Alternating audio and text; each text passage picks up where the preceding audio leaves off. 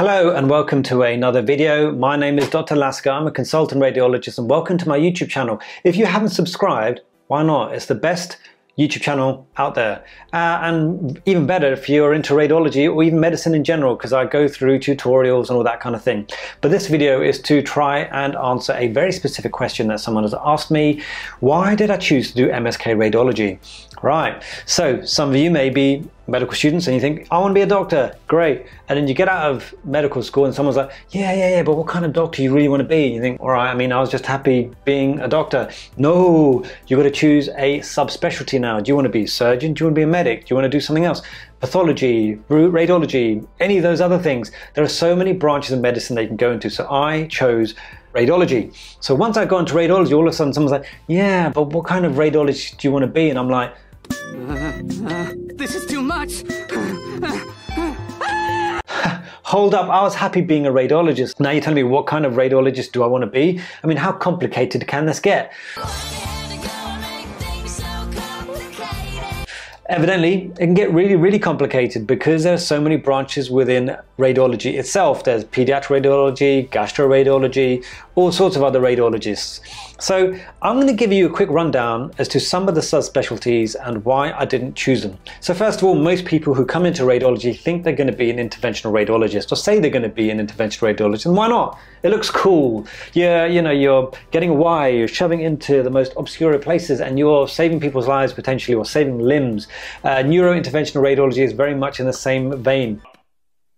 That's the joke. So the so the thing is, with those subspecialties, it's very very hands-on, and people think, yeah, but you know, that's what I want. I want to be hands-on, but actually, it's not the only kind of radiology that is hands-on. Doing what I do, which is musculoskeletal radiology, I'm hands-on. I got my needle, I got my steroid, I got a joint. A little, uh, little shot here.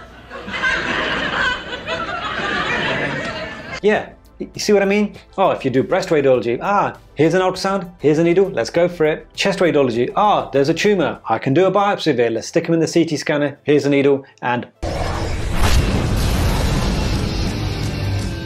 So you see what I mean? Like most radiology will have a interventional aspect to it. So saying that you just want to use your hands a lot is not really answering the question as to why you want to do interventional radiology. So anyway, interventional radiology is very, very kind of cool. Uh, you are doing lots of cool stuff in a big fancy room with LEDs on.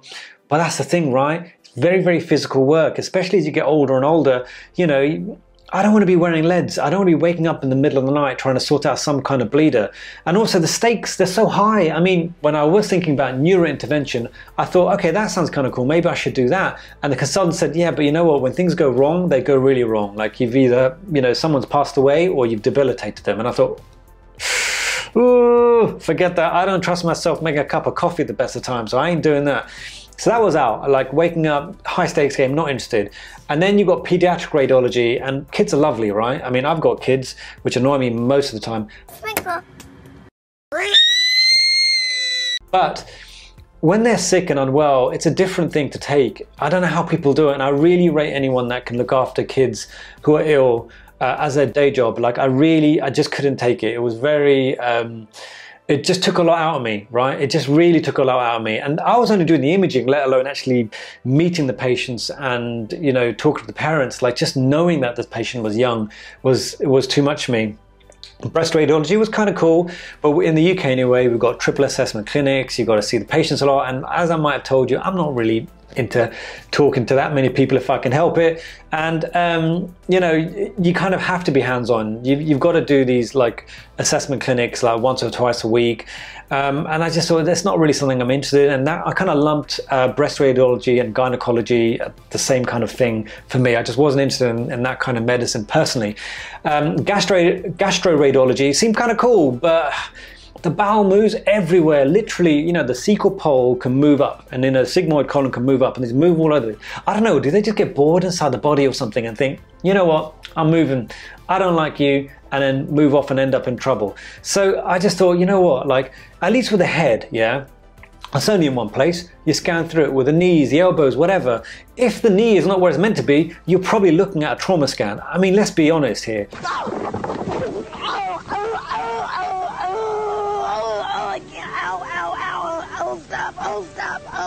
So because of that, how much it moves and the amount of surgery that can go on in those situations, I just thought, no, it's just too complicated. It takes too long. Scans take too long for me. And any kind of enemas or any kind of putting contrast into somewhere where you've actually got to physically see the patient and put contrast into them and take more pictures, no, no, not interested.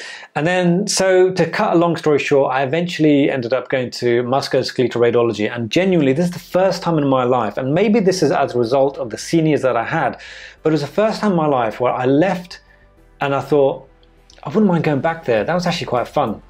I love you. I really enjoyed it. Um, you know, especially sports related injuries, which is something I want to do, but end up actually doing a whole load of crumbly old, you know, hips and stuff like that. But um, the, the thing is, like, the knees don't move anywhere. The knee's the knee. Where's it going to go? Hips don't move anywhere. The hips are, are the hip. If it moves somewhere, then you're looking at something a bit more serious. Uh, when something gets a little bit complicated, like there's some sort of weird tumor, there's an entire subspecialty of musculoskeletal radiology that has to deal with that. So you'd say, being a generalist that I am, would be like, well, this needs to be referred to a sarcoma center and they're going to do a biopsy and that kind of thing. So then, so if something gets a bit too complicated with a tumor or something like that, you just hand it across to the experts. I mean, they're experts, that's what they like to do. Not my department. And then the stakes weren't as high when you're looking at this kind of thing. I mean, yeah, there is a bit of like debilitation and all that kind of stuff, but in reality, you're not dealing with a stroke, you're not dealing with aortas bursting, you're not dealing with any of that stuff. I mean, we're talking about a bit of pain in the hips and knees, etc., etc. So the stakes weren't so high. Now, a bit more personally to me is I'm quite into exercise. I mean, I, I, you probably can't tell, but I do like to go to the gym. I do like to keep myself health and healthy and fit and it just appealed to that side of me. I've been reading about you know health and nutrition for for decades, and so um, now all of a sudden I can make it a subspecialty of my own job to learn about you know the tendons, the joints, the the way injuries can look on imaging. I mean, this was just brilliant, this was this is for me, and so um, and in future wise. There's a lot of work that's coming this way because people are getting older, they're going to have hip pain, shoulder pain, and all that kind of stuff. And uh, for the time being anyway, that's still a musculoskeletal radiology job to be able to sort out. Um, so yeah, I, for me anyway, that's why I chose musculoskeletal radiology. Lifestyle was good. The stakes weren't so high. If things got too complicated, I'd pass it on. And also it kind of appealed to the nature, the side of me that was very interested in health and nutrition and basically gym training. So I hope that helps someone out there because someone did ask me, why did I choose musculoskeletal radiology? And they needed to make that choice themselves. So yeah, I hope that's useful. And for those of you that haven't subscribed to my channel, please do. Um, it is clearly the best radiology channel and best YouTube channel out there. Um, if you're interested, you can check out my channel sponsors, Collective Minds Radiology. They are helping me a whole load of educational content, which you'll be able to find videos on. And also do check out my own podcast, which is called Two Medics, which I run with a very good friend of mine called Tharusha Goodwadner. We've both got a specialist interest in social media, which is what that entire podcast is about. So do check it out if you've got some time. And as always, thank you for watching. Thank you for contributing. Thank you for subscribing. We've had so many new people join the channel. And um, yeah, keep asking me questions and I'll answer them as best and as quickly as I can. Thank you so much. Speak to you soon. Bye.